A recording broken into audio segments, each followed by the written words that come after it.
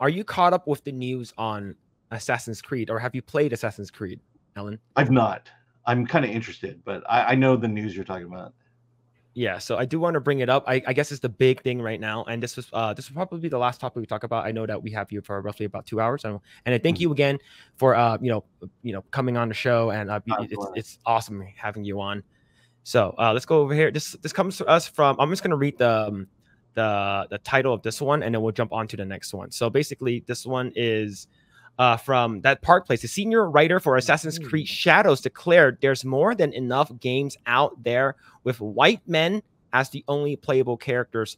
Let's do better. So I guess the big hubbub that happened this week with the announcement of uh, Assassin's Creed Shadow was the um, the incorporation of uh, of including Yasuke, which is an actual uh, historical figure from the uh, from Japan. I believe he was Nobunaga's uh, what's called retainer, and um, I'm not sure if he ever, he's ever gotten like a lordship or mm-hmm. a samurai, like he became a samurai. But people are basically saying that this is why is he in the game, right? And um, so I, I know Grae, you've been you, you've played most of the Assassin's Creed game. What are your thoughts on the, uh, on this so far? Yeah, it's like uh, this for for the longest time, people want to say, "Hey, hey, Ubisoft, set up a Assassin's Creed game in Japan." People would love that. And then now that they finally gave it, for some reason, they decided, "Oh, let's let's put in a black guy instead of a Japanese guy." I mean, nothing wrong with putting Yasuke in there, but I don't think he deserves to be that main to be given that main character status. But yeah, again, I mean, the the senior writer kind of revealed himself. We know why he did it. It's because it's getting the engagement it is right now. probably mm. it's because they're, they're in the back of their mind they're thinking, okay, what can we do to get people to just keep talking about the game? And this is this was it. This was their secret formula to be able to do it. Not in a good way, but again, like I said in my video, like any publicity is good pu- publicity yeah. in there. I know about this game because of this. So yeah, well done. Good job. Yeah. yeah. So you know what um, they should do? The next Assassin's Creed should take place in Africa and then make the main character white. I mean, I wonder. Wait, didn't IGN already like so that this sort of contradicts their thing, right? Is because in Resident Evil 5, um, you had um what's it called again? Chris Redfield from Resident Evil, and he's basically over there taking care of um a virus that infected a lot of Africans. So and they they're saying that you cannot remake this game because that's I believe that's on the next remake um, that Capcom's supposed to be doing for RE. So they're like, you can't remake this game because it's racist. Having a white guy going to Africa and killing a bunch of black people, you can't do that, right? And then they're like, so so I, I think like it's it's a double standard in hip hop. So you can have a black guy go to Japan and kill a bunch of Asians. Yes. yes. Okay. All right. I so the, the reason, and the thing is that that you know, like, J- U.S. is only so big, but if you actually take a look at Ubisoft Japan's uh, trailer, it's mm-hmm. getting heavily ratioed. So this is their trailer for um for Assassin's Creed. Uh-huh. So 3.5k um likes and then 35k I'm mean, 34k dislikes on on it. And then um you know like you have a lot of japanese people this translate to english speaking as a korean i naturally thought that the main character for this game was japanese that's why i was confused about the current situation this is a very strange decision uh, by the way, please note that this sentence was written using Google Translate. uh, yeah. yeah, this isn't cultural appropriation; it's cultural robbery. As a Japanese, I should uh, I should absolutely reject this. And uh, we all, we Japanese can say is the fact that Yasuke is not a samurai and is not respected. The fact that Yasuke is a samurai is a fiction based on speculation that is not based on fact. I find it strange that Yasuke is called a legendary samurai. For Japanese people, the legendary samurai are Sengoku warlords such as uh, uh, Uesugi Kenshin, uh, Date Masamune, and Sanada Nobushige. So yeah, I'm just, and all of them are just basically saying they're not happy right? And, that, and and you're like, oh, you're just racist white people, but now it actually goes to people in Japan. They're actually upset about this.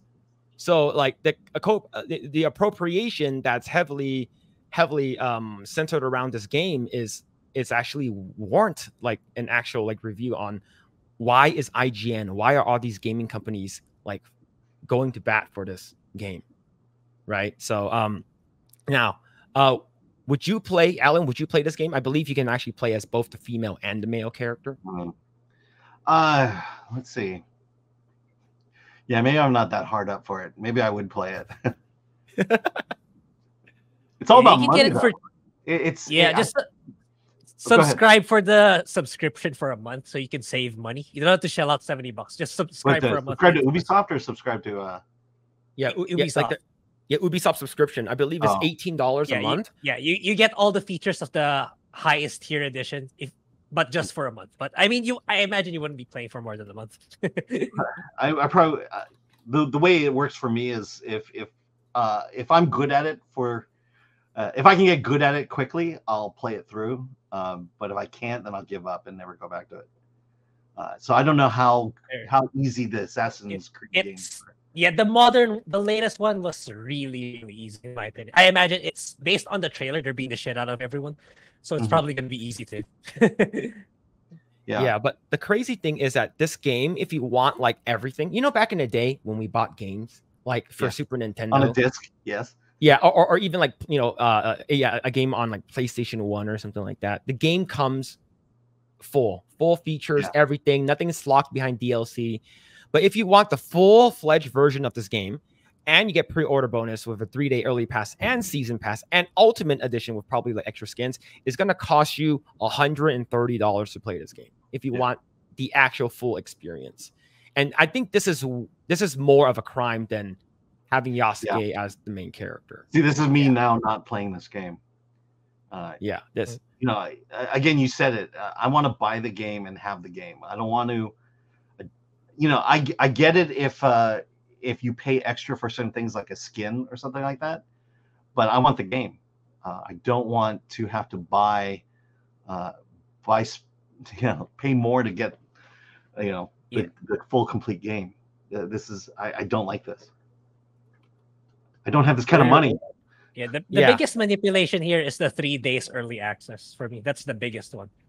It's like that's psychological manipulation. That's FOMO.